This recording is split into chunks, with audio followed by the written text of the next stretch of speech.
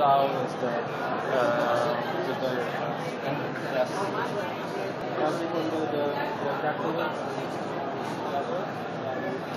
My work is about making 2-phenylethanol via biotechnology.